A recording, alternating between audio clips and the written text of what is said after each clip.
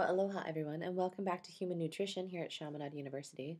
Today we, we will be discussing water and its role in many of life's metabolic processes. So we'll start off by explaining why water is so essential to life, and we'll do that by describing the multiple processes that water is involved in, and we'll talk about the multiple processes that maintain the water balance within the body. We'll talk about the roles of water in terms of sodium, hormones, and enzymes and how they play a role in the development of hypertension or high blood pressure. We'll talk about the recommended amount of water that you're supposed to intake daily. Talk about the effects of diuretics, which would be something that is going to um, allow water to be leaving the body at a higher level than normal, things like caffeine or alcohol, and then how that affects the balance of the body's water. And then we'll differentiate between dehydration and water intoxication, which are two extremes, right? Too little water or far too much water. And we'll talk about the symptoms related to each of those.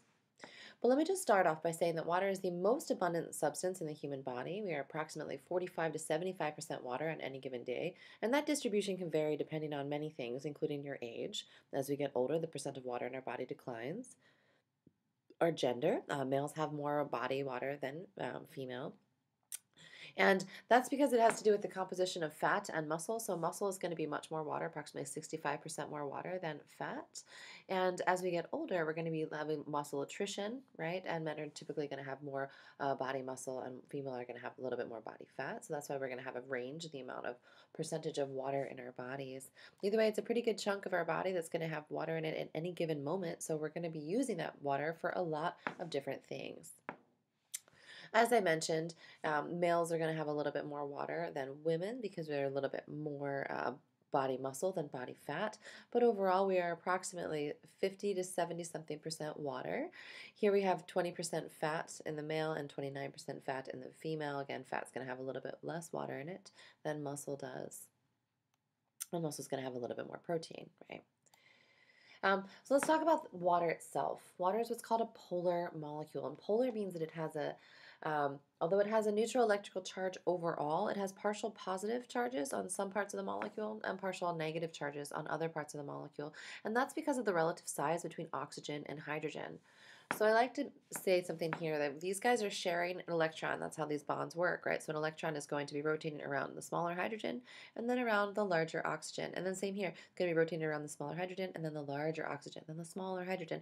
And this is akin to sharing a lawnmower with a neighbor who has a much larger lawn than you. Although both of you are going to have your lawns mowed, the neighbor with the larger lawn is going to use the lawnmower for a longer period of time right? It's just the way that it works. And that means that that negative electron spending more time orbiting this oxygen molecule is going to confer a partial negative charge to this part of the molecule, whereas the partial positive charges will be conferred to the hydrogen ends of this molecule. Now, water is going to be very important in maintaining acid base balance, and that's going to actually happen because of the fact that it can split into um, this water molecule that you see here and into an OH and an H separately. And we'll talk about that in a minute. Now, solvent would be any liquid in which a substance dissolves, and water is the universal substance in that most liquid or most substances are going to dissolve in universal um, in water. And that's because of the polarity of the water molecule. Remember, we have some partial positive charges and some partial negative charges. And so that's going to help dissolve anything like proteins, sugars, other minerals, etc., because it's going to allow for the negative charges and the positive charges of the molecule to get pulled apart by the polarity of the water. That's also going to allow water to help transport these dissolved nutrients and other substances throughout the body. So all of the liquid in the body is going to be aqueous solution. Our blood, our interstitial fluid, our cytosol inside our cells, all of that is an aqueous solution, meaning that it's water based. And that allows us to transport things like oxygens and nutrients to the cell, hormones to the cell, and then things away from the cell as well, like waste products, which are going to be excreted in our urine and our stool in the long run.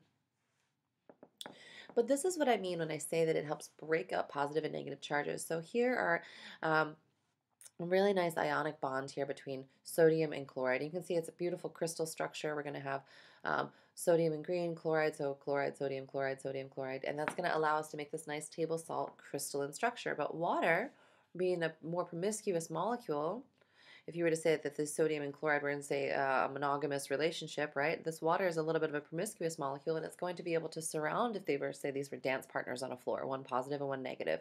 A bunch of these partial negative charges from the oxygen molecule can surround the positive charge of the sodium ion and separate it away from its dance partner on the floor. So chloride can also have that same thing happen because it's been pulled away from sodium and is surrounded by all the partial positive charges of these hydrogen ions. And so in this way, sodium chloride is going to dissolve in water because it's going to have all of its charge needs met by these partial positive and partial negative charges of the water molecules. All right, water is going to be very fantastic at maintaining our body temperature. It's really good at absorbing heat and releasing heat. Um, so it can take heat from parts of the body and extend it out, say, to your fingertips by way of the bloodstream. So it's going to allow heat to travel throughout the body as well. It also serves as a lubricant for your joints and your eye tissues. Um, so, for example, when you create tears, those are aqueous solutions in your mouth. All that saliva is an aqueous solution, and all of the intestinal juices, etc. So it provides a nice lubricant for things to move about within the body, and a protective cushion for your internal organs, for example, or for a fetus during pregnancy, which would be surrounded by amniotic fluid, again, another aqueous solution. Additionally, it helps provide structure to the cells. So it's going to allow the cells to can make their three dimensional shapes. This is talking about water um, as a regulation of body temperature.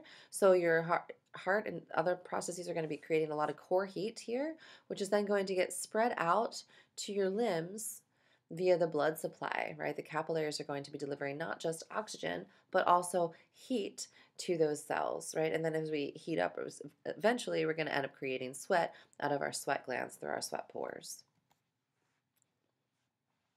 Right, water is also going to be, play a huge function in metabolism. And during metabolism, we are constantly undergoing the process of building things and breaking things down. And the process of building things is called anabolism. If you think of anabolic steroids, pump you up, right? And catabolic is going to be the process of breaking things down. Picture the cats like to knock things off of tables. And all of the anabolic and catabolic reactions in your body are the sum of all of those are going to be considered metabolism. And water is responsible for a lot of these reactions. Almost all of these reactions are either hydrolysis or condensation reactions. What do I mean by that? When we are putting things together we're going to have a condensation reaction occurring whereby we're going to take off the ends of each of the molecules, one hydrogen from one side and one OH from the other side, creating a water molecule and also creating kind of a sticky end whereby those two molecules can bind to each other.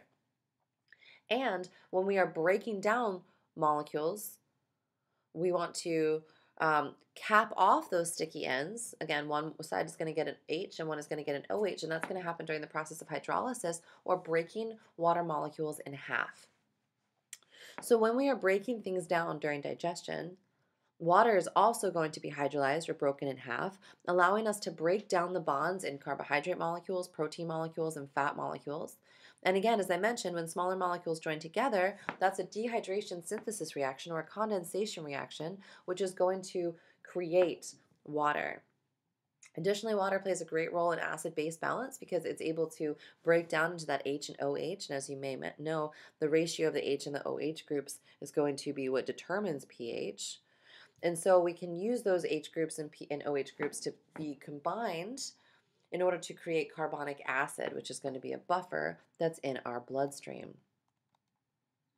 All right, so water is going to have to have a specific homeostatic conditions, right? Fluid balance. We need to maintain homeostasis of all sorts of things, including the concentration of water within our blood supply, within our um, intracellular fluid, within our cytoplasmic fluid. We need this fluid in order to be able to have normal reactions happen within the cells. And the body is constantly going to be adapting to the changes in water intake and losses by creating thirst, for example, so you bring more in, or excreting more water. But the the goal is to make sure that you're in water balance, which means that your amount of water that you're consuming is equal to the amount of water that you're excreting.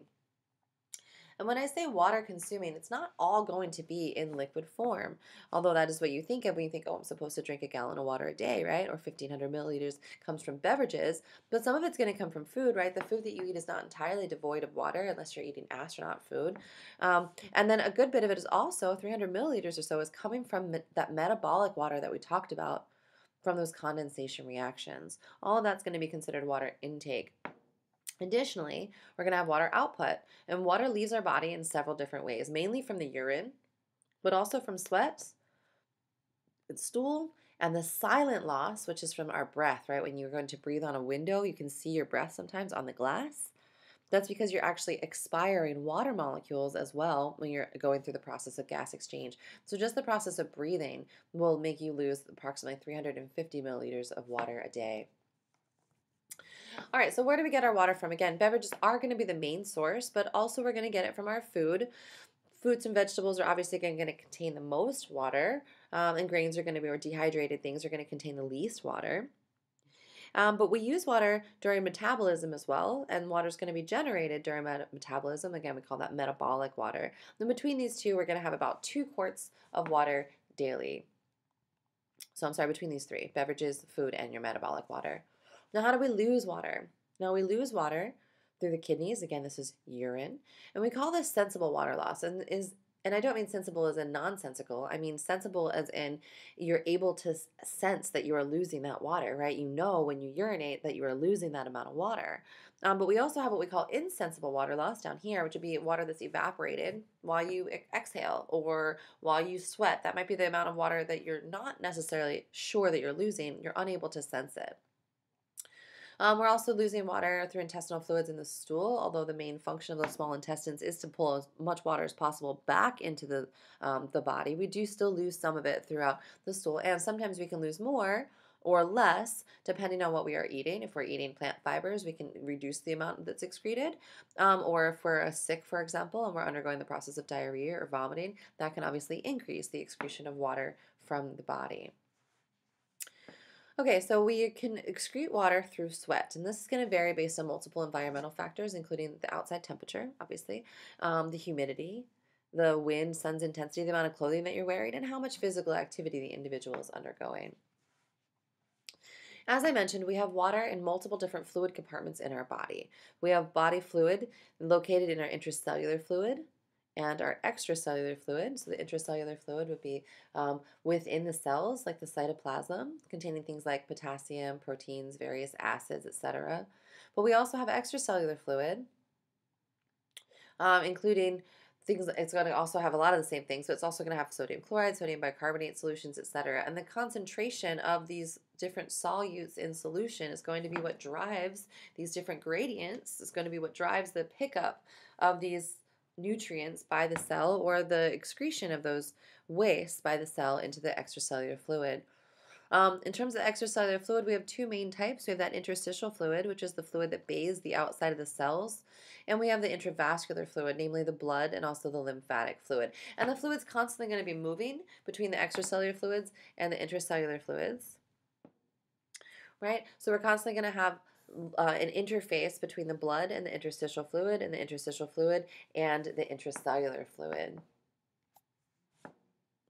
Okay, so this is basically what I'm showing you previously that we have the extracellular fluid compartments are going to include the vascular fluid, which is the blood, obviously not including the blood cells, right, just the fluid that surrounds them. The interstitial fluid, which is what's going to bathe the cells. And again, there's always going to be crosstalk between these two. So we're going to be losing things from the intravascular fluid into the interstitial fluid and vice versa. And then from the interstitial fluid, that'll be delivering nutrients into the cell. And then the waste will coming across the cell into the interstitial fluid, into the vascular fluid for excretion. So that's the difference between the intracellular fluid compartments and the extracellular fluid compartments. Okay, so we also have specialty types of minerals that are called electrolytes, and these are going to be very uh, play a very large role in fluid balance. Things like potassium, phosphate, magnesium, calcium, chloride, sodium, anything that you see a positive or a negative charge after them. And anything that is a positive charge, that's called a cation. And anything that's an anion is a negative charge, right? Anti or anion, negative charge. And these electrolytes are going to be responsible for maintaining water balance between the multiple compartments of the body. And sodium is one of the ones that has the greatest effect on fluid balance. Basically, if sodium goes, water will follow. Um, and it follows by the process of osmosis. So, osmosis is basically going to be the rate of diffusion of water specifically from one side of the membrane to the other. So, the water and the solvent can move between the semipermeable mem- membrane from one side to the other. The solutes, remember, do not.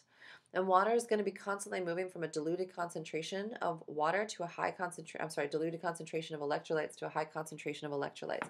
And if you flip this around, it makes sense. So if you picture that a diluted concentration of electrolytes would be a high concentration of water. So if, for example, you had 5% of your electrolytes, which is very high, but let's say we had 5% versus 1% right? So 5% electrolytes would be 95% water, 1% electrolytes would be 99% water. So water would fly, flow from the 99% water to the 95% water.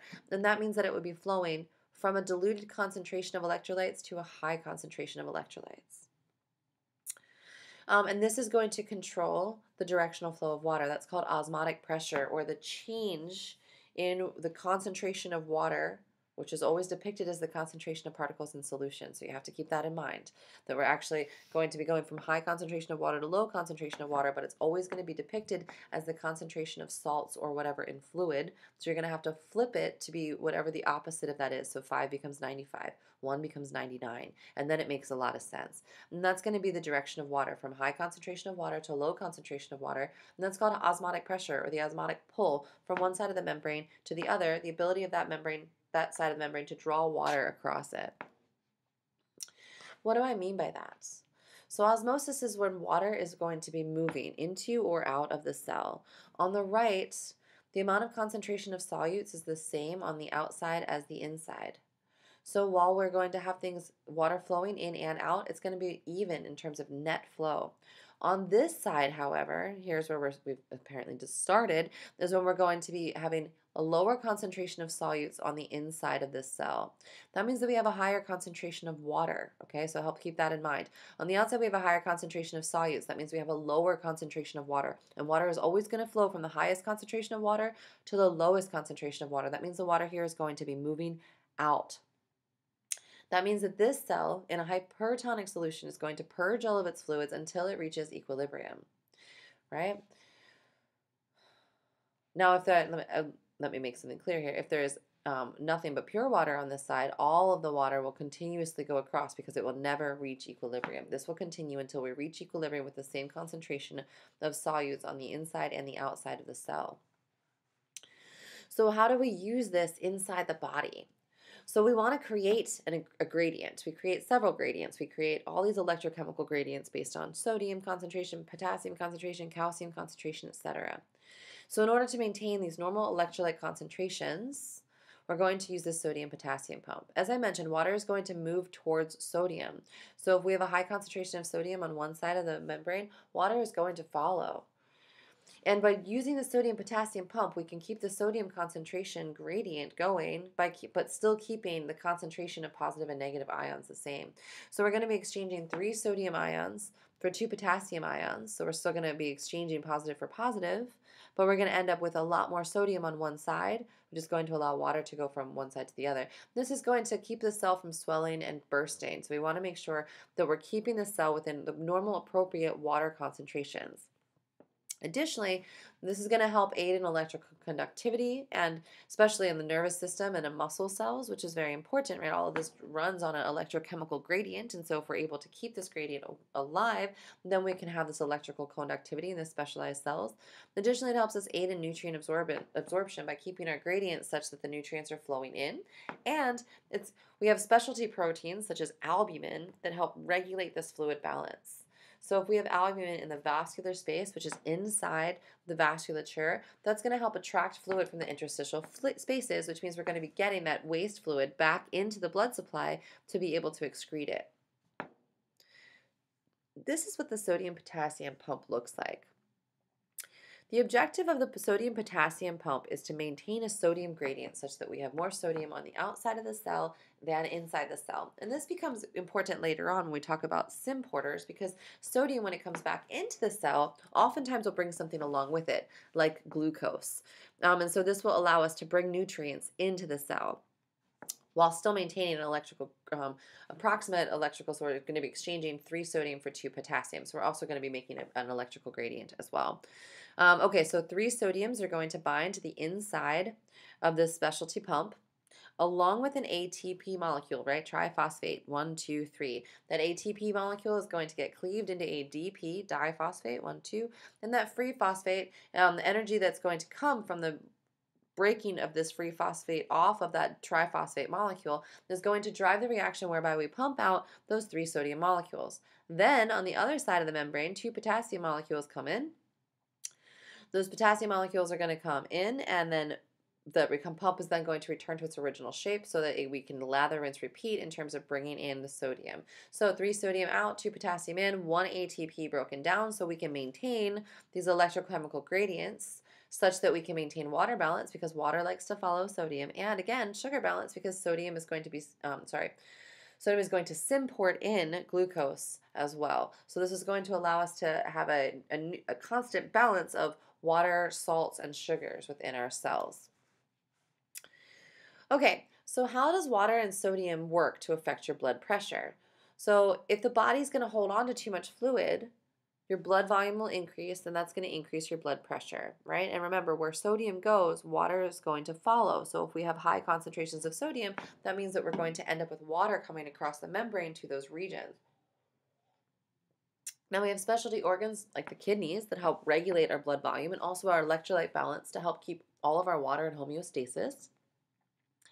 And we have three main hormones and one main enzyme that are involved in the controlling your blood volume so things like antidiuretic hormone, it's also known as vasopressin or ADH. An antidiuretic hormone, remember I previously talked about diuretics, things like coffee and alcohol, things where you ingest them and you end up excreting more water than you consumed. So you might consume a 20 ounce cup of coffee, but excrete more than that in your urine because that's a diuretic. Now, an antidiuretic hormone is going to help us hold on to water. So we're going to help keep the water inside our body. We also have angiotensin and aldosterone. And the enzyme that I'm going to talk about is renin. But let's go ahead and take a look at how this all works together. So if we end up with a drop in our blood volume, so we end up with a low blood pressure because we have um, hypovolemic or low blood volume conditions, that's going to be detected by the hypothalamus because specialty receptors that are going to be responsible for detecting our blood pressure.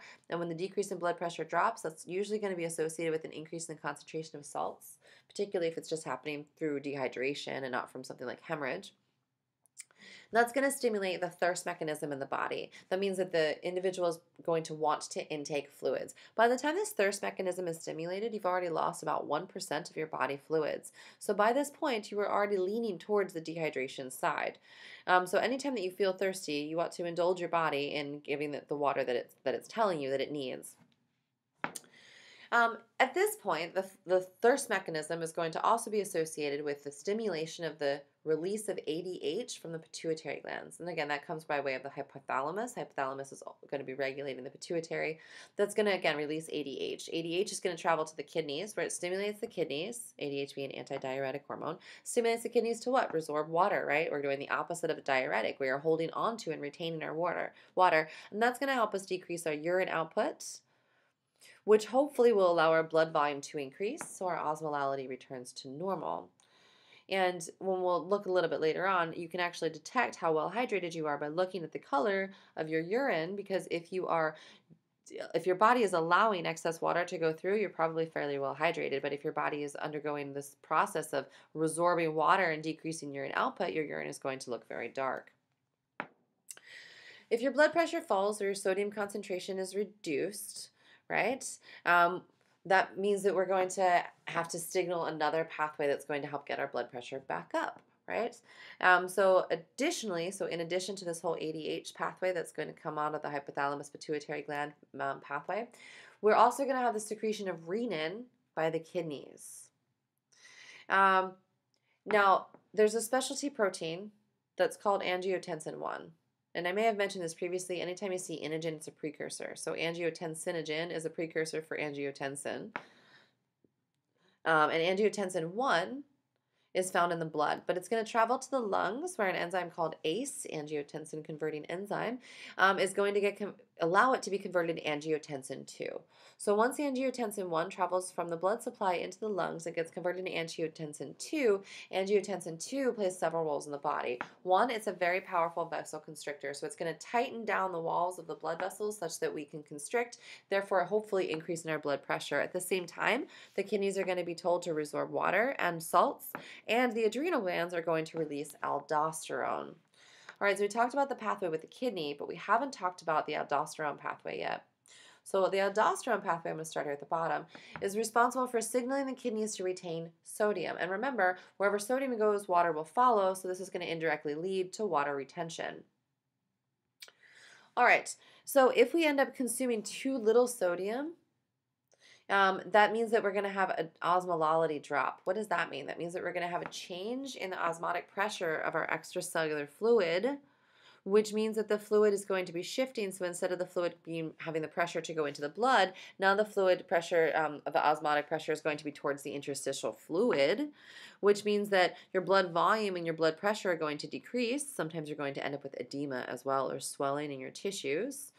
Um, and angiotensin 2 is then going to trigger the release of aldosterone. So remember, aldosterone is responsible for sodium retention and also, therefore, indirect water retention. Okay, so this is a pathway of everything that I just kind of talked about. So if we have high concentrations of salt in the blood, that means that we probably are going to have low amounts of water in the blood. Usually that means we're entering into dehydration conditions. That means that we're going to want to get water into the bloodstream. So how do we do that? So the brain is going to have that specialty region called the hypothalamus. The hypothalamus is responsible for detecting many things, but including the salt concentration in the blood. When we see that there's high concentration of salt, that's going to stimulate the pituitary gland here to release ADH. ADH travels to the kidney and results in water resorption, which is going to restore our blood volume and our blood pressure.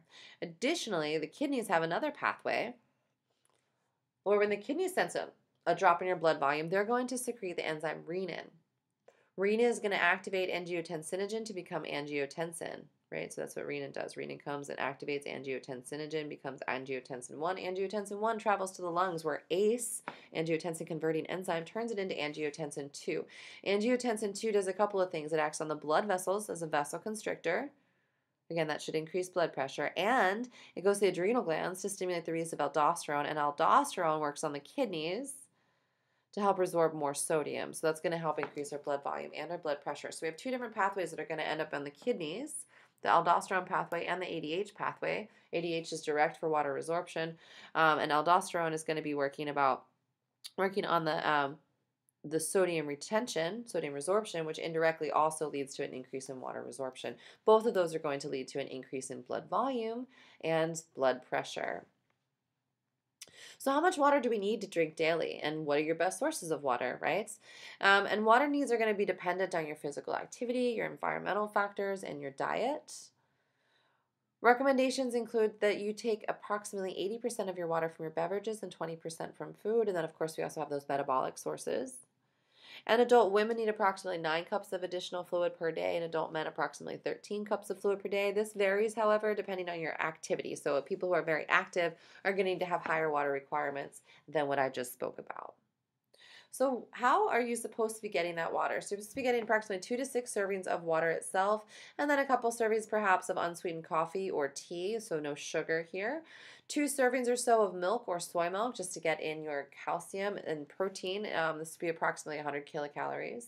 And then you want to try to avoid things like um, soft drinks and fruit drinks. And if you do want to drink these fruit drinks, you want to make sure it's actual fruit juices, so you're getting the benefits of the fruit juice, including the vitamins, and instead of just having those um, fruit flavored beverages, right? So this is the daily beverage recommendations for an adult individual in America. This is showing you the water content of different types of foods. As you can see, vegetables and fruits are going to be the highest concentration, dairy as well. Um, and things that are going to be high protein, like egg, uh, chicken, eggs, and fish, also are going to have some um, some water in there as well. And if you're looking at your grains, everything except your cereal and your ready-to-eat dehydrated style um, grains is also going to have some water in as well. Things like cooked oatmeal, for example, that you've added the water to, pasta and rice you've boiled in water. Um, breads and bagels are going to have some water in there as well. So really, you can get water from almost all of your food groups, um, the exception being you're not going to get much from that dehydrated cereal. All right, so how do we get water into our body? Well, we drink it, right? We drink it through tap water, um, bottled water, milk, juices, etc. So make sure that you're trying to consume your liquids throughout the day so that you don't end up at the point where you're actually feeling thirsty because you've always kept up with your water needs. Remember, by the time you're feeling that thirst sensation, you've already lost 1% of your body weight in water. Now, most foods are also going to contribute to meeting your daily water needs. As I mentioned, unless you're eating astronaut food, you're going to be getting water from your diet as well. Things like fruits and vegetables are going to be a good bit more water by weight than things like dry grain. Um, very little water found in your dry grain products. But in, in your grain products like breads, you're still going to have some water, of course. Breads and muffins, etc., bagels. Now, caffeine, although it is a diuretic, is a very slight diuretic. It's not going to cause a significant loss of body water. It is a mild diuretic, again, mild diuretic because what it does is it increases the amount of water that's excreted from the body. How does it do that? It does that by inhibiting ADH. Um, and it works in the kidneys, obviously. Um, but caffeine doesn't cause a significant loss of body water over the course of the day compared to non-caffeinated compared to with non-caffeinated beverages and you can become more tolerant to coffee over time. So as you first start introducing something like caffeinated beverages like coffee or tea you might find yourself using the bathroom quite a lot. But over time your to- tolerance tends to um, develop. Typically it doesn't necessarily negatively affect your hydration status because the body is just going to upregulate the amount of ADH created so even though it's blocking the action to ADH, we're going to end up with more ADH and eventually resume normal function. Um, how does alcohol work as a diuretic? It also is going to inhibit um, anti-diuretic hormone, and it can induce urination very quickly, as quickly as 20 minutes after consume, consumption, which leads to dehydration, obviously. It also is going to affect your electrolyte concentration, specifically your potassium concentration. So you want to try to take a banana if you're going to go on a, uh, an all-night bender. Um, Older adults are going to be less affected by this than younger drinkers. Um, younger drinkers, again, this tends to be like a tolerance thing. So eventually, your body, if you are an established drinker, will just compensate by additional ADH. So even though we're inhibiting ADH, we increase more ADH, and eventually we end up with tolerance, basically. Um, but to prevent dehydration, there are two routes. First of all, you obviously want to reduce the amount of alcohol that you're consuming, and secondarily, you want to mix a glass of water in between every single alcoholic beverage. So, drink a beer, drink a glass of water, drink a beer, drink a glass of water. Not only will this slow the amount of alcohol you're consuming down, but it will also help restore water balance in your body. All right, so hypertension hyper, higher tension, blood pressure. So high blood pressure um, can treated generally going to be treated by pharmaceutical diuretics, which are going to promote again diuresis or the increase of water loss by inhibiting the resorption of sodium. And if we have more sodium excreted, that means more fluid is going to excrete. Again, anywhere sodium goes, water tends to follow. That's going to help us reduce our blood volume and therefore lower our blood pressure. However, sometimes diuretics also increase potassium loss um, which means that it's going to increase the risk of what's called hypokalemia or low potassium in your body. And as I just mentioned previously, alcohol also affects your potassium levels. So oftentimes individuals who are taking these diuretic drugs are told not to drink for the purpose of maintaining their electrolyte balance, particularly their potassium levels. Now the flip side of dehydration is water intoxication. And in the old days in fraternity houses, Hazing, I'm not sure if you're familiar with the process of hazing, but hazing is like ritualistic um, induction of people into a fraternity or sorority. And it used to include excessive alcohol drinking, which was obviously banned because it was bad for the individuals and for the fraternities and for the universities. So hazing with excessive alcohol was banned, and so then it was replaced for a short while by hazing by drink having them drink a gallon of water, um, which can result in water intoxication. It's generally going to be rare in individuals who have a balanced diet because it just means that we're going to be creating more urine. But if we drink it too quickly, like chugging that gallon of water in just one sitting without adequate sodium replenishment, depletes your sodium, which results in hyponatremia or really low sodium levels. It also increases the rate of urine production, but if we're not producing urine quickly enough, um, we can end up with really bad secondary results like brain swelling, which obviously can cause things like confusion and disorientation. Um, and because sodium balance is so important to your cells, this can be lethal and lead to death. So, how did they come about that? Now they use gallons of milk or Gatorade or something like that that's going to result in fluid balance because it also has the electrolytes in there as well. Um, as I mentioned, dehydration is the flip side of that water intoxication coin, and it's caused by inadequate water intake, but can also be caused by excessive water loss, such as participating in exercise in the heat, or diarrhea, high fever, vomiting, or use of diuretic drugs. Um, as I mentioned, by the time you feel thirsty, you've lost 1%. As little as 2% loss of water can trigger loss of short-term memory and long-term memory, lower attention span, lower cognition, ability, inability to maintain your core temperatures, increased risk of infections and fatigue. So make sure that when you feel thirsty, you drink water so that you don't get to the point that you're so dehydrated that you're experiencing these conditions. Because the consequences of dehydration can be very severe, particularly for individuals who are very young or very old, and athletes. It's particularly of consequence to the elderly because elderly people tend to suffer from dementia more than younger adults. And oftentimes, because it can cause lower attention span, right? Loss of short term memory.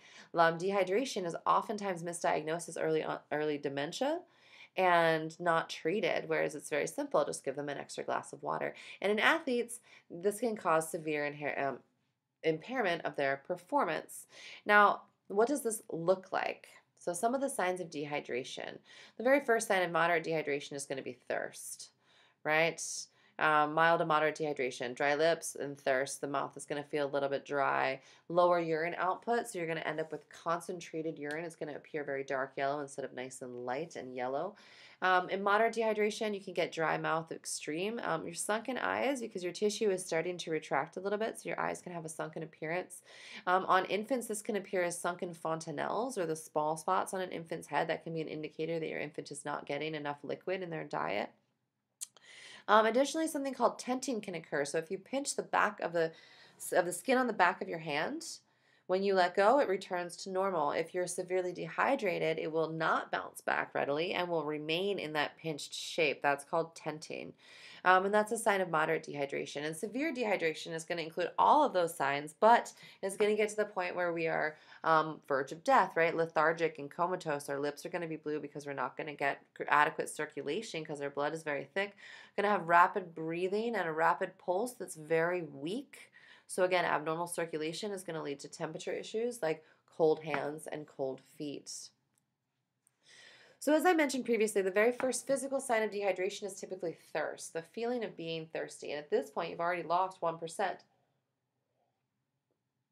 Now, when water is lost from the body, this results in reduced blood volume, reduced blood pressure, and hypotension if severe enough, hypotension being low blood pressure. Now, low blood pressure means that we can have reduced cardiac output and impaired digestion. It can also lead to fainting or blackout because we have inadequate um, oxygen distribution to the tissues. And during the process of dehydration, water is depleted from all of the body sources. It's depleted from the extracellular fluids and the intracellular fluids. So that means it's depleted from the bloodstream. It's depleted from the extracellular fluid, like the um, the, it's also going to be depleted from the cytoplasm. So all of the parts of the body are going to be suffering because we need water for all the parts of metabolism. Okay, so this is going to be the thirst mechanism. Basically, we're going to have an increase in osmolarity, which occurs because we have thicker blood, right? Um, means that we are going to have low, um, low amounts of water. We're also going to have lower amounts of saliva leading to dry mouth. This is going to stimulate the, hypo, um, the hypothalamus. The hypothalamus and the dry mouth together are going to stimulate the th thirst center. An additional mechanism to stimulate that thirst, thirst center is by having a drop in blood volume. That's known as hypovolemia. If you think of hypovolemic shock, for example, it's because we have low blood volume due to hemorrhage. Um, but you can have low blood, vo blood volume due to lack of water as well which leads to low blood pressure these are all going to stimulate that thirst center and make you drink fluid. Hopefully, if you drink enough fluid, that water being absorbed is going to decrease your osmolality until you no longer feel thirsty and you've restored fluid balance. So how do you make sure that you avoid being over or dehydrated? especially if you're going to be undergoing extreme physical activity. So you're going to want to monitor your water intake and you're going to want to measure your body weight before and after long bouts of vigorous activity and then determine how much water has been lost. For every pound that you have lost, you want to consume 16 fluid ounces of water if you're going to assume that all of the weight loss is due to the loss of body water. And if you note that you have gained weight after the excessive exercise, then probably you're overhydrated to begin with and you should be consuming less fluids before your next activity. And this last slide is going to show you how you're able to evaluate your hydration levels based on your urine color. And these are just different levels of hydration. You want to aim between 1 and 2 um, so you want to aim to be that it's so clear it's almost looks like water. Between three and four is still healthy, however, you're going to still be bright yellow. As you start getting into these darkening, especially into the seven and eights, you're reaching dehydrated and extreme dehydrated conditions. And this is where you can be at risk of a um, urinary tract infection. Oftentimes, it's also already going to be cloudy if you have a urinary tract infection. Um, and this is why when they do urinalysis, they're going to take a look at several different things in this water not just the color and the clarity, but also they're going to look at the bacterial count or if there's any blood in there, and there oughtn't be, if there's any um, protein in there, which indicates you might have an abnormal diet. So they'll do a lot of things when they're looking at the urinalysis, including salt concentrations and pH balance. All right, everyone, so I'm going to leave you there. I appreciate you coming to my lecture today, and I will see you next time. Have a great day and happy studying. Aloha.